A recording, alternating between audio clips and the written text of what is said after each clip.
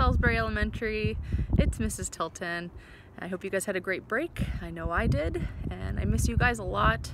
Um, I figured why not start the week off with some fun. So I made a sensory pathway for you with my box of chalk and uh, I had fun creating it. You can do your own in your own driveway or your street if it's safe um, or sidewalk and you can create your own or you can copy my design. I'll walk you through it. Hope you have fun. Here we go.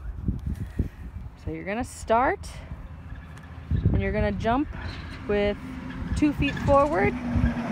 Follow the arrows. Jump to the right, jump two feet forward, follow the arrows, jump two feet to the left, and jump two feet forward. And then you're gonna walk heel to toe. So follow the green line all the way around until you get to the twirl. Gonna do some twirls in the middle here. And then you're gonna leapfrog jump. So you're gonna jump like a frog. Ribbit, ribbit, ribbit. And then I have a crab walk. So you're gonna do a couple crab walks over to the bear crawl, big bear walks, and then a star jump to finish. So get on out.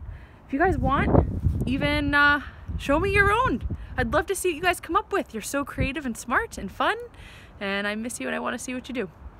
All right, hope you have fun. Bye.